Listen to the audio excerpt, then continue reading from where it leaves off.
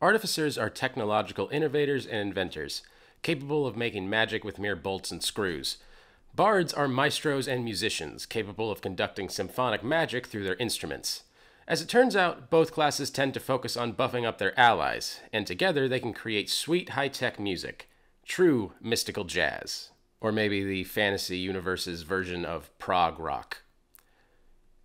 This analogy has gotten off track.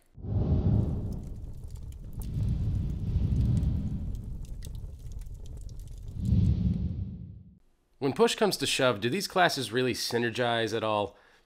Not really, but we're going for aesthetics and a cool theme here rather than min maxed combat build. There are a few fun synergies in that artificers get double their proficiency on checks made with tools, and technically, musical instruments count as tools in 5e. I guess. It may not be the most statistically efficient build at this time, but if you want a sort of funky vibe as you play a metal bard with a robot roadie and flying magical guitars, then this lovely character build is definitely going to be for you. Now, of course, there are some obvious downsides to this build. As with any multi-class combination, you give up on late game features, and the progression on some of your other features will be a lot slower. In this case especially, we're going for two spellcasting classes that don't even use the same spellcasting ability we're going to be tight for stats, and we're going to be giving up a lot of late game spellcasting power in favor of spellcasting versatility.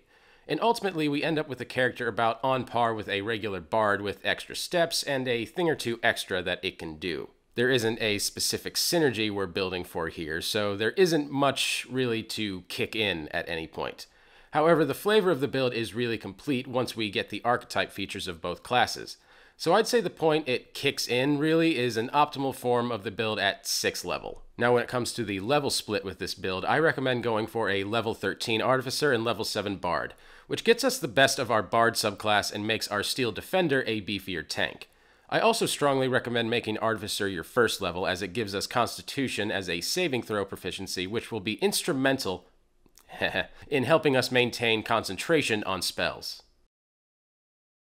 Now, when it comes to the class features that we care about, to get our steampunk rock band on the road, there are a few key features that we really need from each of our classes. Starting with the significant Artificer features, we have Infuse Item. One of the Artificer's most powerful abilities is to temporarily make magic items as long as you have access to an item of the same base type.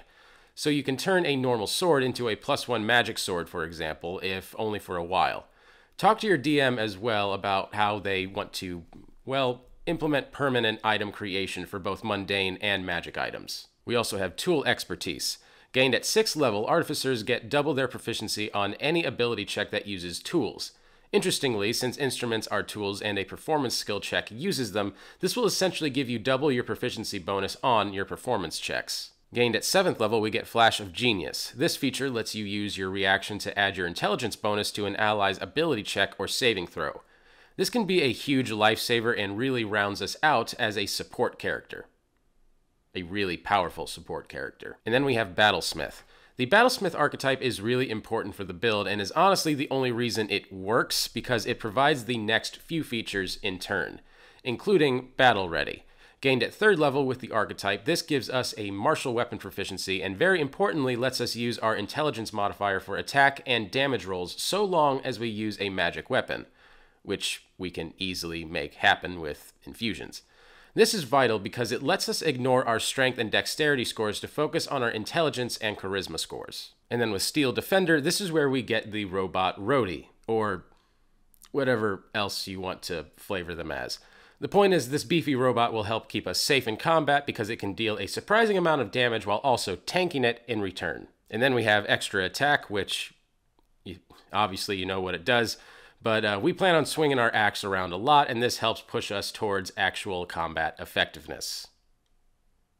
I, there should be quotes around axe. You, you, you musicians know what I mean. Now, with Arcane Jolt, it's important to keep in mind we won't get this until late in the build at our 9th Artificer level, but it will keep our attacks and healing relevant in the late game by adding 2d6 damage or healing whenever we need it most. Now, moving on to the significant Bard features, of course, we're going to start with Bardic Inspiration.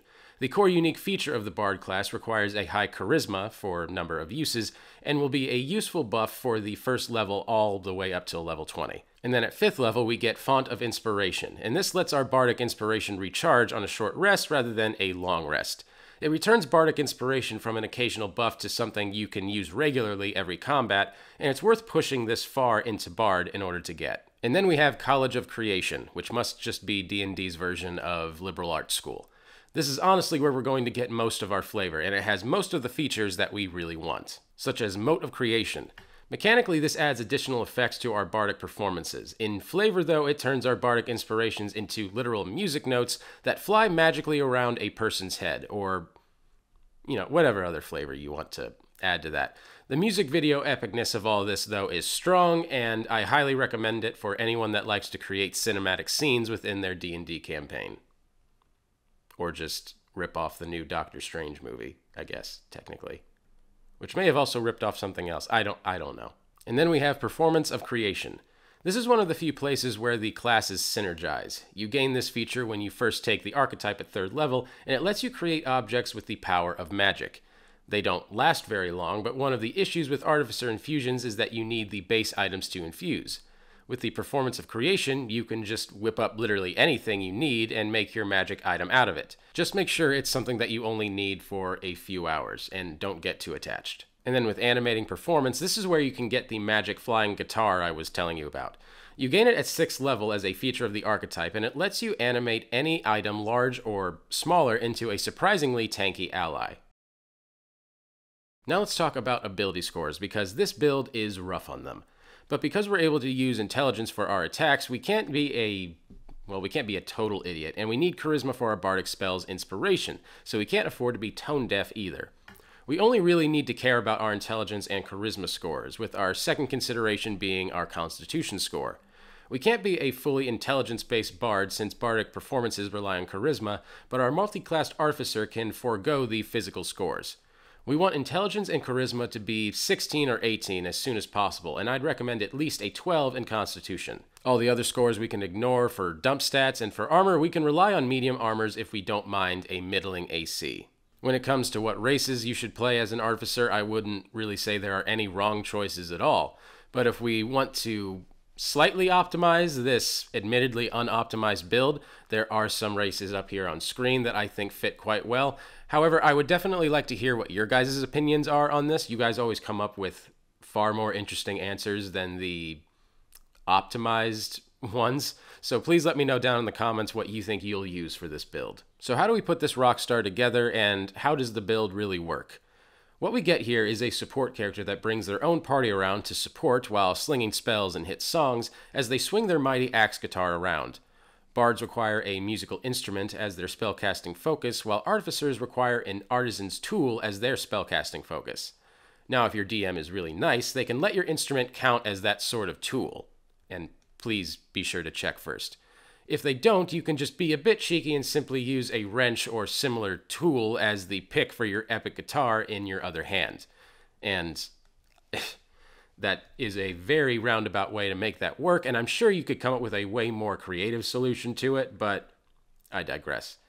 Now that you have both the spellcasting focuses in your hand that you need, we need to be able to swing it around. We can infuse your guitar, making it into a plus one magic weapon, and since we're a battlesmith, our axe is now also a spellcasting focus for our artificer spells. Congratulations, we're now casting both artificer and bard spells through the power of rock and a plus one enchanted guitar. Now what? Now we take the band on the road. Our steel defender sticks with us, and we can animate other guitar, amps, or whatever else we fabricate and feel fits our musician character as our dancing item.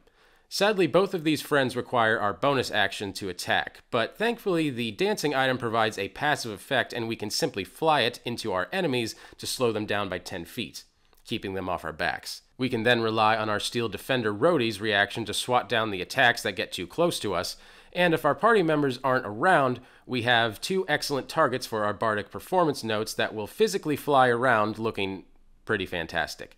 The end result is a full on mob of characters and heavy metal goodness, or again, whatever music stylings fit your character. Your Master of the Strings will fill a buff, debuff, and utility role for other players with a magic axe to bring down in melee if the crowd gets a little restless. Both the Artificer and the Bard spell lists are full of excellent buff spells and protection spells, giving you plenty of options to help your traveling band out. Our entire spell list will be massive, and between all the Artificer knowledge, divination spells, and high skill checks, will be an excellent source of utility for the party.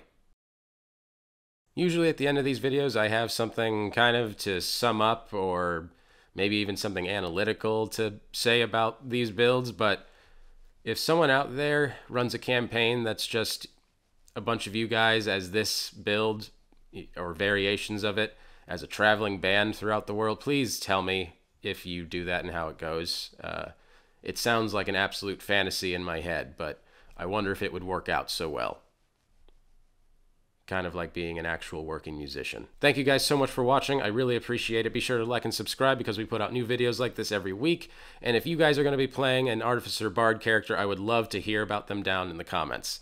Thanks again for watching. My name is Patrick Ferguson from Skull Splitter Dice, and until next time, farewell.